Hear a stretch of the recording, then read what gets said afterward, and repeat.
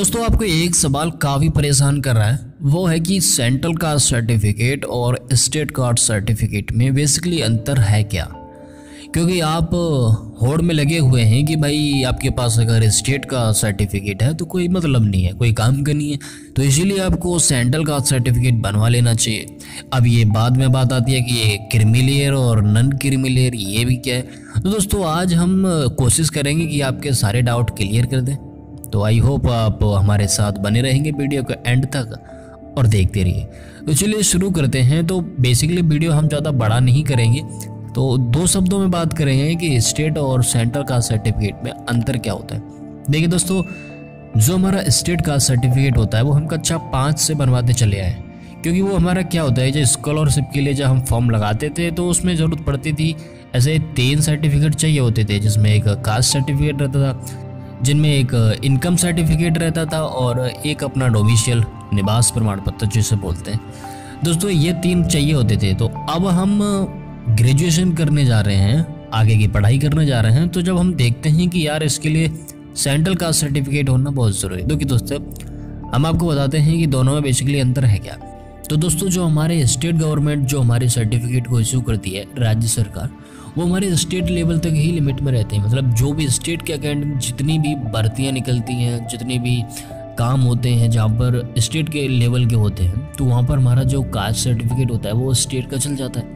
लेकिन भाई, जब हम एसएससी की तैयारी करने जाते हैं, यानी DU दिल्ली यूनिवर्सिटी में जब हमें एडमिशन लेना होता है तो ये तो भाई भारत सरकार के अंदर आते हैं। तो इनमें क्या होता है कि हमें सेंट्रल का ही चाहिए होता है कास्ट सर्टिफिकेट तो अब तो आप समझ गए होंगे कि जब हम किसी भी, जैसे रेलवे हो गया, और भी बहुत सारी ऐसे हैं तो वहाँ पर हमारा जो सर्टिफिकेट लगता है, वो लगता है सेंट्रल का।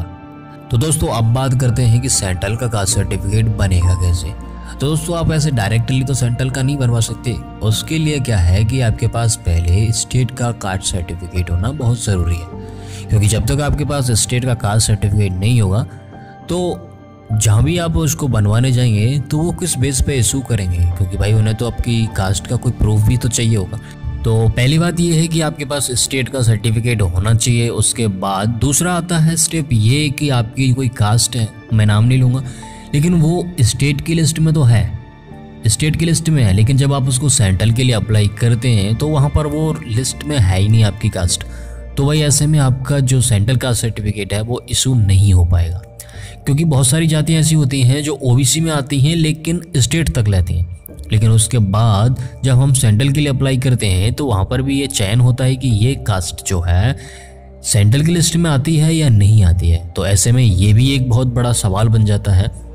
लेकिन अगर आपको बनवाना नहीं है तो आप अप्लाई कर दीजिए, वो बाद में देखेंगे। और हाँ हम कोशिश करेंगे कि आपको वो लिस्ट भी डिस्क्रिप्शन में प्रोवाइड करें।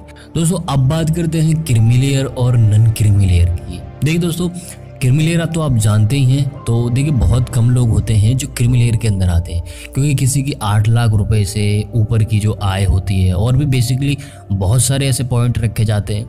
तो मान लेते हैं कि अपन में से कितने लोग होंगे जिनके पास ऐसा होगा कि मतलब जो क्रिमिलेयर की श्रेणी में आ पाते होंगे? मतलब कम से कम 95 परसेंट लोग तो नहीं आते होंगे। अब फिर क्या है कि जब आप सेंट्रल के लिए जब आप अप्लाई करते हैं तो वहाँ पर आपको पूछा जाता है कि आपकी आय कितनी है। तो दोस्तों, अगर आपकी आय जो है कम रहती है, जो लिमिट रहती है, उससे कम रहती है आठ लाख से, और बेसिकली आपकी जो इनकम सोर्सेस हैं, वो भी कम रहते हैं फैमिली की कुल आय मिला के तो मतलब बहुत बड़ा मसला होता है ये। तो उसके बाद जब आपका जब आपका फॉर्म अप्लाई होता है तो उसके बाद इशू होता है तो उसमें ये क्लियरली लिख के आता है कि ये जो पर्सन है, जो सर्टिफिकेट इशू करा रहा है, ये क्रिमी लेयर के अंदर नहीं आता है। क्रिमी लेयर से बिलोंग नहीं करता है। तो अब आपका क्या है कि ये जो स्टेट का, जो सॉरी सेंट्रल का जो कास्ट सर्टिफिकेट आपका बन गया, वो आपका नन क्रिमी लेयर का भी काम करेगा। क्योंकि मैंने पिछली वीडियो में एक सर्टिफिकेट आपको दिखाया था गवर्नमेंट ऑफ़ इंडिया जो भारत सरकार ने इश्यू किया था, और उसमें ये क्लियरली लिखा हुआ था कि this person does not belong to the creamy layer तो भाई क्रिमी क्रिमिलेयर के अंदर हम नहीं आते, क्योंकि हमने जब सर्टिफिकेट बनवाया था तो अपनी जो इनकम सोर्स है, जो इनकम है, वो बता दी थी कि हमारी क्या है। तो उससे हमारी कम रही तो अब हमारा जो बना है, वो बना है। सेंट्रल कास्ट सर्टिफिकेट और नन क्रिमिलियर तो अब इसका हमें क्या है? प्रॉपर लाभ मिलेगा। अगर आप बनवा लेते हैं सेंट्रल का कास्ट सर्टिफिकेट, लेकिन रहता है वो क्रिमिलेयर के अंदर तो आपको लाभ नहीं मिलेगा। हालाँकि आप पढ़ाई के लिए बनवा रहे हैं दिल्ली यूनिवर्सिटी में या फिर किसी बड़ी यूनिवर्सिटी में एडमिशन लेना चाहते हैं तो वो आप ले सकते हैं। लेकिन अगर आप किसी जॉब के लिए जब जाते हैं तो वहाँ पर आपको लाभ नहीं मिल पाएगा। लाभ कब मिलेगा जब आप नन क्रिमिलेयर के अंदर आएँगे। तो दोस्तों, मेरा मूड बिल्कुल भी नहीं था कि मैं मतलब अभी आपको इसके बारे में बताऊँ। बताना यूँ पड़ा कि आपके कमेंट्स जो हैं मेरे को बार बार परेशान कर रहे थे तो मैंने सोचा कि लोग बता ही देते। हैं अगर आप देखना चाहते हैं कि सैंडल का सर्टिफिकेट होता कैसे है तो आई बटन में आपको वीडियो मिलेगा, वहाँ से देख लेना। डिस्क्रिप्शन में भी लिंक है और हमारा तो चैनल है ही आपके लिए, मदद के लिए। तो मिलेंगे नेक्स्ट वीडियो में। जय हिंद, जय भारत।